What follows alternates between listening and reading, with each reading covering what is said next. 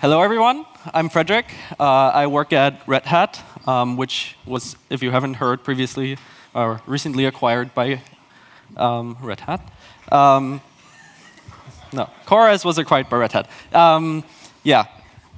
So um, today I want to talk about auto-scaling uh, your workload on, on Kubernetes with um, the metrics from Prometheus. Um, but what, what, what, do I want you to walk out uh, of this room with in terms of information? So I want, to, want everyone to understand what is the officially recommended way to autoscale workloads on Kubernetes.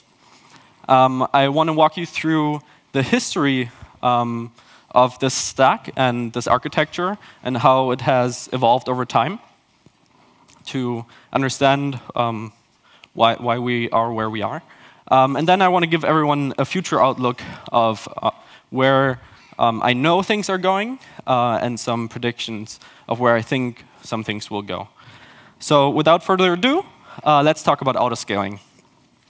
And uh, first, I want to make sure that we all understand um, the terminology uh, and have a common understanding of what we speak of when we say autoscaling. So on a very abstract sense, um, we want to be able to cover demand of our user-facing applications, or maybe not user-facing, really anything that what our customer is, whether that's actually an end user or um, some developer within our infrastructure, it doesn't really matter. We want to be able to cover our demand um, based on um, our metrics. And in order to be able to do that, we obviously need to collect those metrics. Um, but really fundamentally, why we, why we do all of this is in order to cover our uh, service level objectives. So things like uh, latency of our APIs or um, the time within uh, we, which we want to guarantee our, to our users that we work off items in a work queue, for example.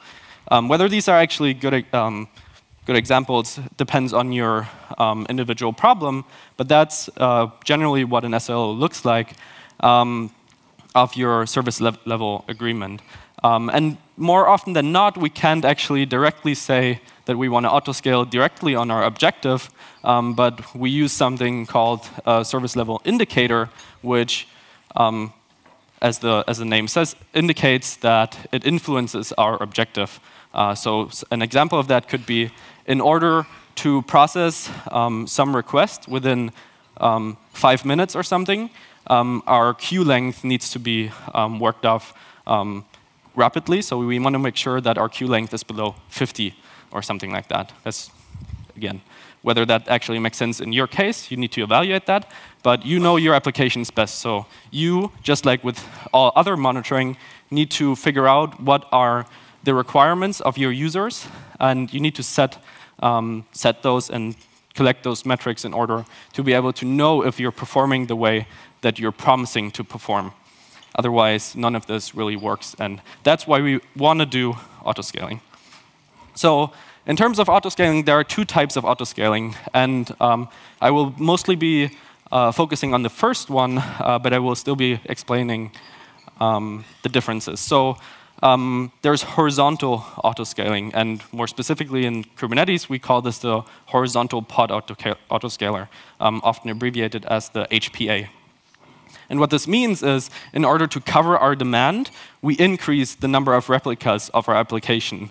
Um, and I think this one is particularly important because um, although there is also vertical pod autoscaling, um, or just in, in general, vertical autoscaling, meaning we don't increase the replicas of our application, but we increase the individual size of our replicas.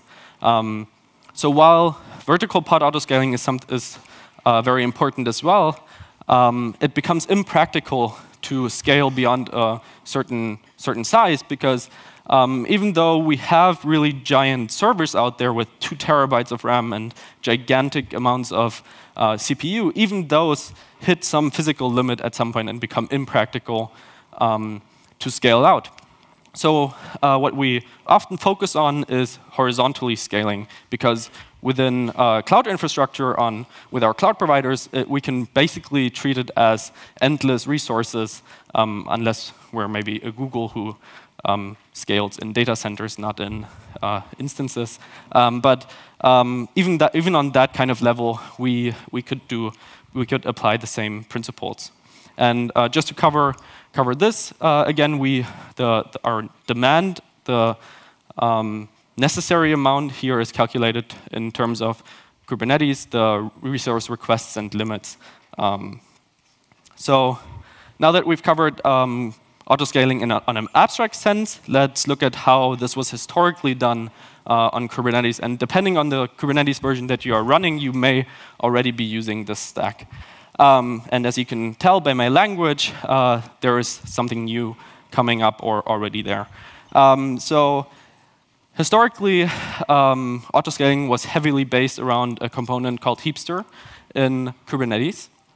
And Heapster is a monitoring system that collects metrics from your infrastructure, mostly from a component in your Kubernetes cluster called cAdvisor, uh, which, sits, which is actually compiled into uh, the kubelet in Kubernetes. And uh, through that, it gathers infrastructure metrics about your containers, things like CPU, memory usage. Um, and there's also some possibilities to do custom metrics uh, collection. And th then when Heapster goes around and collects all of these metrics, it then writes it into some sink, so into some other time series database. And uh, when we wanted to consume this um, in terms of horizontally scaling, what we did is we created a horizontal pod autoscaler ob object.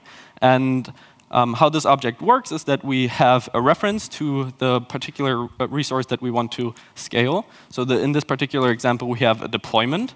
But this could just as well be a stateful set, or really anything in Kubernetes that um, has replicas in it. Um, and actually, this is generic in terms of Kubernetes because anything that is scalable, and we'll go into that a bit more in detail later, um, can be used here. Uh, yeah. And then the next fields, uh, I think, are obvious. So we always want to make sure that at least five replicas are available of this. And uh, just in order to not explode the resources uh, that this needs, um, we can also specify a maximum replicas.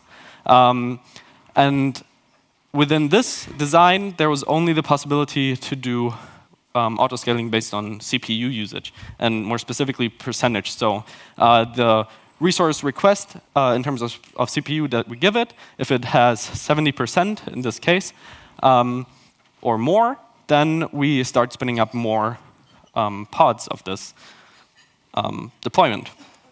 Now, uh, this, is, this was really cool. We got this in Kubernetes 1.2, um, and we could autoscale. And in theory, um, all problems out there can be converted to a CPU-bound problem. Now, um, you probably already understand uh, some of the problems with this, which is it's while it's theoretically possible, it's not very practical to do this based on uh, CPU usage. We um, may very well have something that is uh, much more efficient when it's uh, memory bound, um, or really it's very hard to boil down our SLOs to something like CPU percentage. Um, some organizations may be able to do this, and it's great for those organizations, but it's very hard to get to that point to be able to do that. And over time, as um, we developed uh, Heapster, um, so Heapster only started with a few um, data, data sinks, so um, we were super excited when all these vendors came in and said, yeah, we want to do autoscaling with, uh, and monitoring with Kubernetes as well. And we said, yeah, all these vendors are behind this, what we want to do. Uh, this is really cool. And as it ha happens so often in um, open source projects, and this is perfectly normal, um, is that not everybody maintains the code uh, that they contribute. And um, I think this was less a problem of the community rather than us, the developers um, of Heapster, who made uh, the architecture this way. Um, and so over time, uh, this created a lot of problems it caused outages in uh, Kubernetes clusters. Monitoring is basically the most important component of your um, of your infrastructure, so it needs to be extremely stable. Google actually has, um, I don't know if they still do, but I know uh, that they at least used to, uh, they have, in terms of priority, they have something like medium, high, and monitoring. So monitoring is the most important uh, scheduling uh, priority. Um, there are other organizations doing this. Um, and so uh, we want to we wanna make sure that whatever we provide is super robust. Um, and what's also, what also was strange um, was, because, was that because of how Heapster works, that it, it collects, it must collect the um, metrics and write it into some time series database. The big, um, the big monitoring system that is super popular within Kubernetes, which is Prometheus, fundamentally cannot work with this. Um, and then Heapster also uh, exposed metrics in Prometheus format, but we can't use Prometheus, so this was confusing uh, to all of us. Uh, so we, we decided about a year and a half ago uh, that this pipeline needed a redesign. Um, and we wanted to solve all of these problems uh, that we had previously um, created ourselves with Heapster so that we um, can go forward and uh, just be productive, do auto-scaling and stable monitoring. So one of those things uh, that we wanted to achieve here is not be bound uh, to only be able to scale um, based on CPU. We want to be able to autoscale on arbitrary metrics. And what we came up with are, were the resource and custom metrics APIs within Kubernetes. And um, this, these were specified about a year and a half ago and uh, are actually available in all Kubernetes clusters starting Kubernetes 1.8. So most likely, uh, all of your clusters already support these. So what's important to understand about these APIs, and uh, we made this very, um, very much a goal of these APIs, is that um, they're just a specification of APIs. So the individual imp implementations are up to the vendor to do. So we don't have this model again where there's one repository where everybody uh, puts their integrations, and we again get unstable uh, end-to-end -end tests in Kubernetes, and in general, it slows down the entire Kubernetes um, development. Uh, instead, these vendors or the community around these vendors um, or other uh, open source projects need to write these, maintain these, and um, maybe hand off ownership. Um, so this is it's more explicit than whenever when anyone, excuse me, um, creates one of these um, adapters that they're responsible. Um, so that was important for us. And something uh, that's important to understand when using these, uh, these APIs only return a single value, so the most recent value of that metric that you're requesting. So the resource metrics API is actually uh, very well defined about the metrics that it does expose. So these are uh, something that we sometimes also refer to as the core metrics. So things that every workload in your Kubernetes cluster has.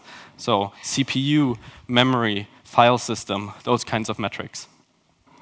And while today uh, this only includes CPU and memory, we do want to extend these. Um, but this is what we have today and what is stable today to be used. And um, there is a canonical implementation for this because the resource metrics API is actually important for a Kubernetes cluster to run um, by itself. So if you do things like kubectl top, um, or you want to auto-scale based on CPU or metric, uh, on, on memory, um, then you can do this consistently in every Kubernetes cluster. And you don't need a monitoring uh, vendor to do this. And um, before uh, we actually implemented this, we did the calculations and said, OK, Kubernetes guarantees a scalability of 5,000 nodes with an average of 30 pods per node. And if we have about 10 metrics for each of those pods, then we end up with, and, and divide that by the uh, collection interval, which is every 60 seconds, the metric server would go and uh, scrape all of this information from the nodes. Um, then we end up with uh, 25,000 metrics ingested per second, which keeping this in memory is a very, very low uh, amount of metrics. And um, yeah, so we went ahead and implemented this, and it performs really well. Uh, and this is now the default um, implementation of the resource metrics API. In theory, these vendors could still go ahead and implement these, uh, this API, but important is that when uh, you go on any Kubernetes cluster, we can be sure that everything works because this is the default thing that is deployed. For example, um, GKE deploys this, uh, Minikube deploys this, and pretty much all of the other um, vendors of uh, managed Kubernetes clusters do this. And of course, also uh, most of the installation uh, tools do this. If they don't, shoot them a pull request uh, because this is actually a requirement of every Kubernetes cluster. And then the custom metrics API was actually the thing that we really wanted out of this pipeline. We, um, the semantics is, are the same as with the uh, resource metrics API, which is uh, you get the latest sample of that time series that you're requesting. Um, but because this is custom, by definition, we don't have any defined metrics for this. Um, and because it's very specific to how you produce your metrics, there cannot be a default implementation for this. So there must be an implementation by your uh, vendor for your um, monitoring system. And with the custom metrics API, each of your metrics actually must be related somehow uh, to a Kubernetes object, and we'll see later what that actually means.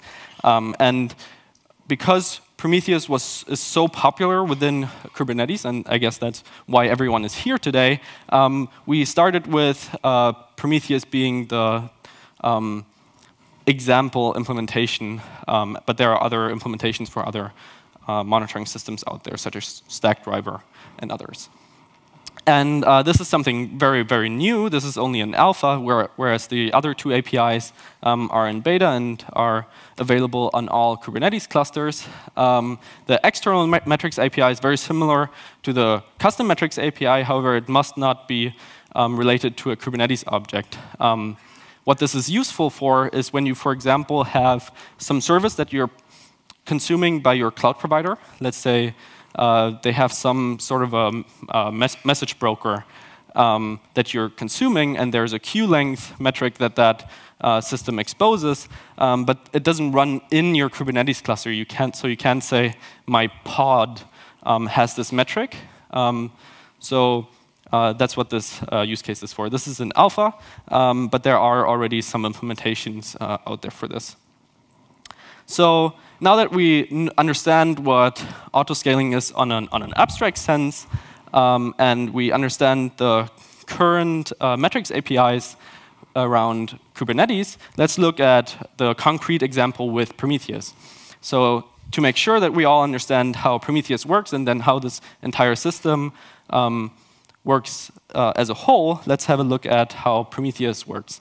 So in Prometheus, you, your application keeps its um, metrics in memory. Um, and this has very little overhead. Um, and basically, in this example, we have started our application, and um, it has just started. So the uh, request count to this uh, has not, it hasn't received any traffic, so request count is zero. So Prometheus is configured to scrape those metrics every interval, in this case, and this is the default, every 15 seconds. And when it does that, it ta takes the metrics your application exposes and writes it into its time series database. And then we actually um, add our application to a load balancer, and it receives some traffic, and then uh, the internal request counter um, is counted up, and then the um, scrape interval has passed, and Prometheus will again scrape this information, insert it into its time series database, and basically do that um, for eternity. Um, so let's, ma let's make this use uh, the HPA.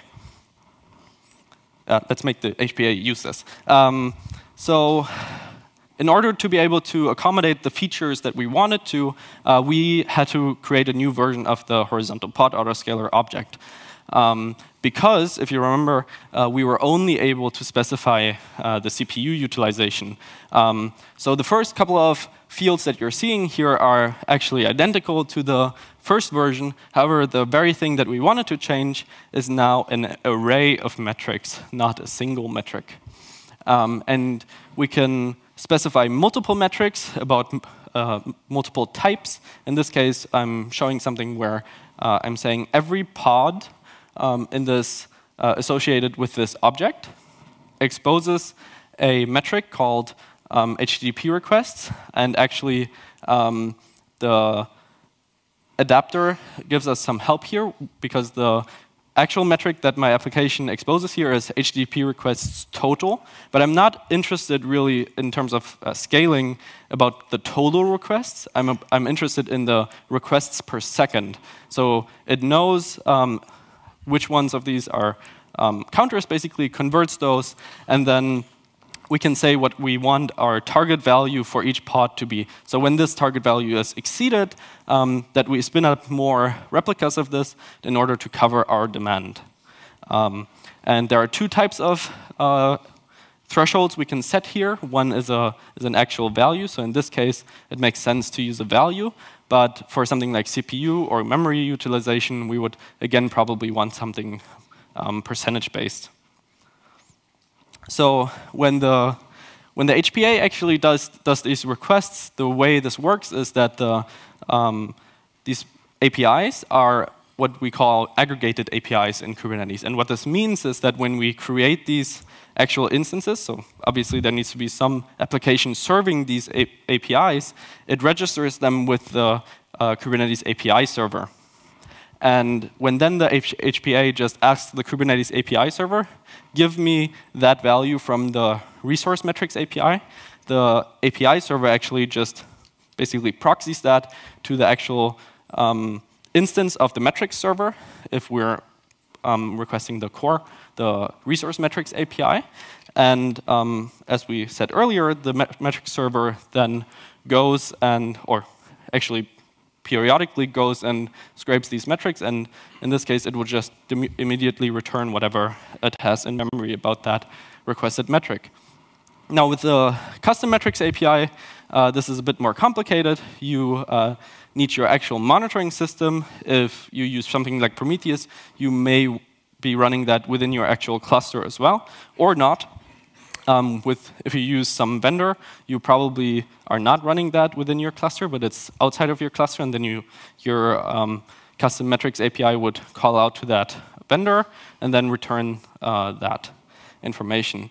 And Prometheus had, has all of this information because it goes through your, um, I mean, you need to set up Prometheus correctly to do this, but it's pretty easy to do that. And um, you scrape all of these the, um, pods and the metrics that they expose.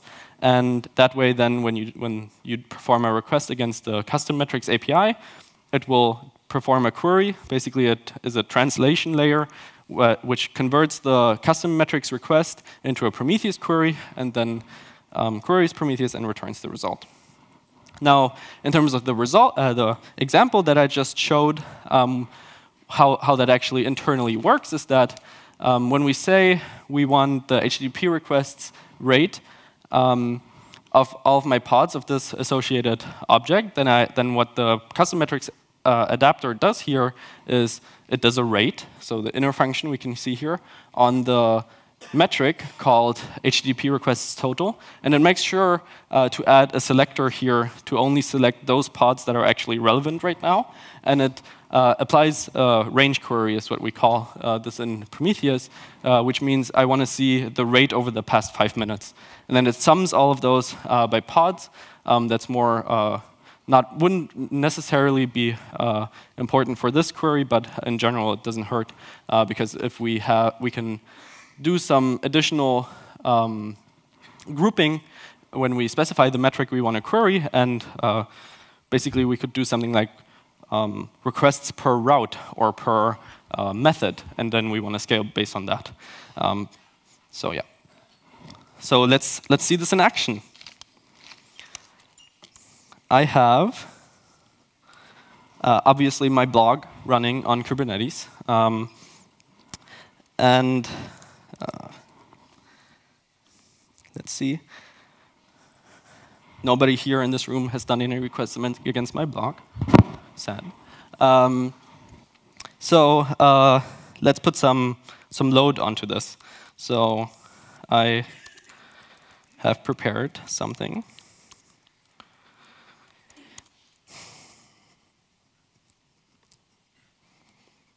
that will put some load onto this.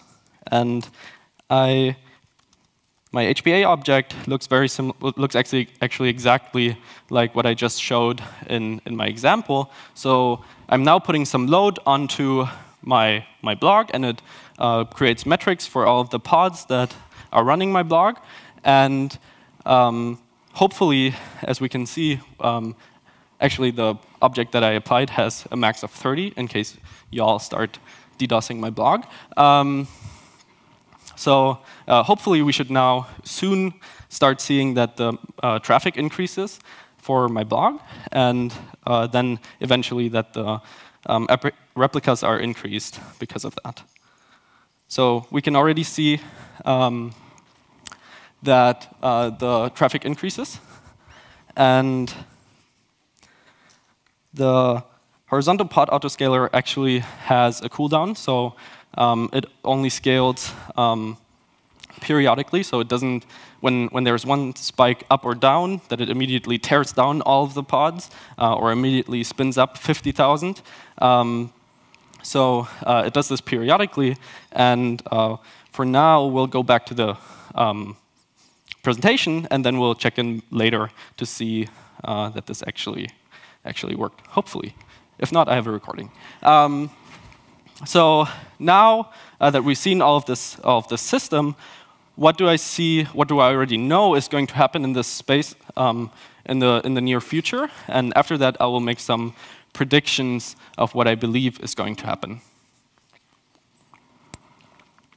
So the reason why we've been doing uh, all of this work is because we felt Heapster was not um, was not efficient enough of a solution uh, for this. So uh, we just last week have started formally um, the, pro the process to formally deprecate Heapster. Um, and pretty much within uh, SIG instrumentation, uh, we believe that this is uh, the correct thing to do. And uh, actually, as of Kubernetes 1.10, all of the critical things for a Kubernetes cluster to operate have been migrated uh, to use the resource metrics API. Um, so we felt now is the time, now that we have migrated everything, uh, now is the time to deprecate this system and move on.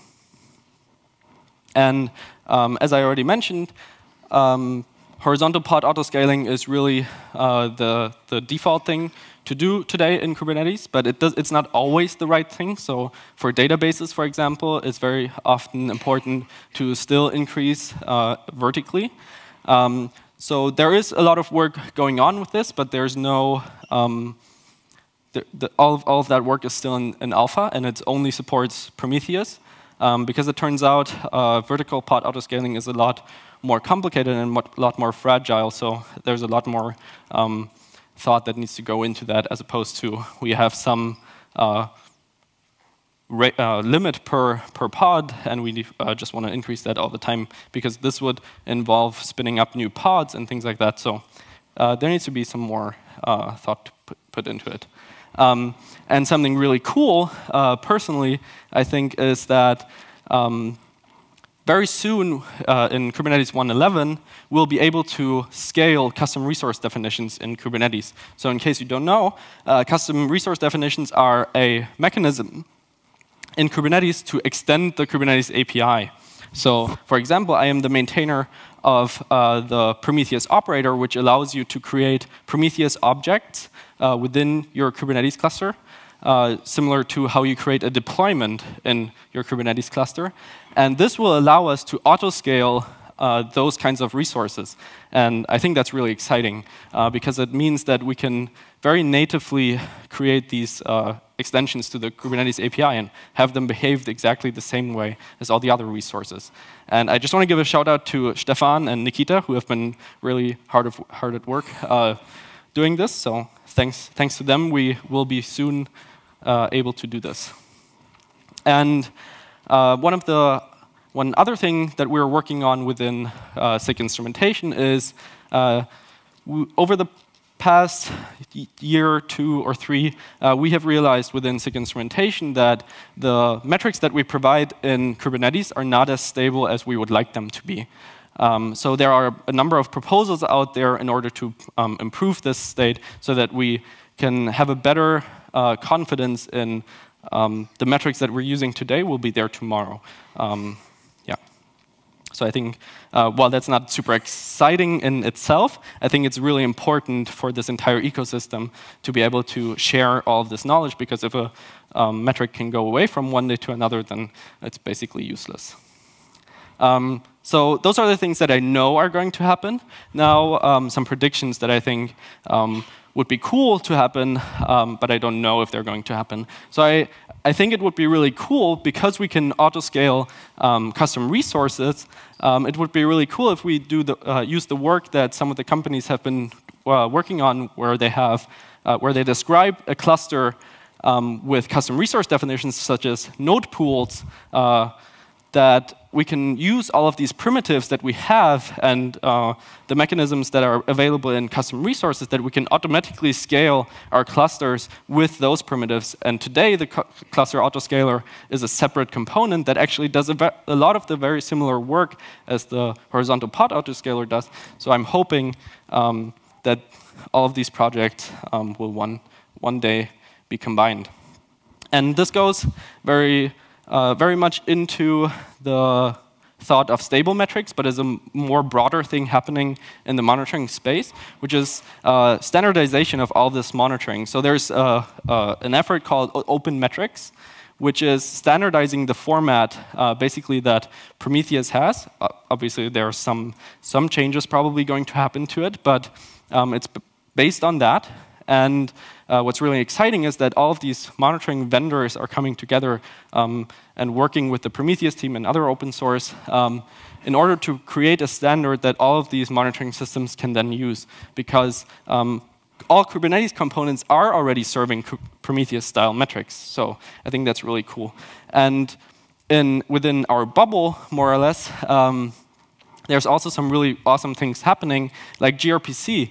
Um, while HTTP metrics are already pretty standardized um, in the Prometheus ecosystem, gRPC gives us even more um, structure as to how our HTTP handlers are registered. And that gives us the possibility to create dashboards, alerting rules, and auto-scaling uh, mechanisms that work across all of our organizations. So I think that's really powerful. And um, together with that service mesh, um, really um, puts, brings this to another level where every single pod within our infrastructure exposes these metrics, and they're all um, they're all the same with, uh, across our entire cluster. So that's really powerful for observability.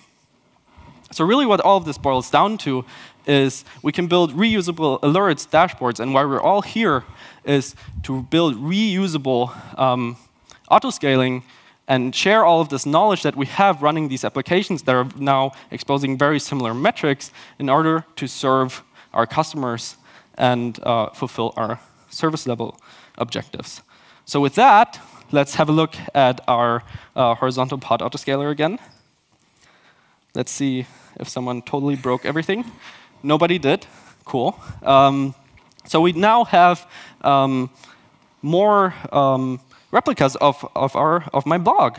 Isn't that cool? And we can see that we have uh, sort of a stable um, request line, which is around 2,000 requests per second, uh, which is exactly the thing uh, that we've specified.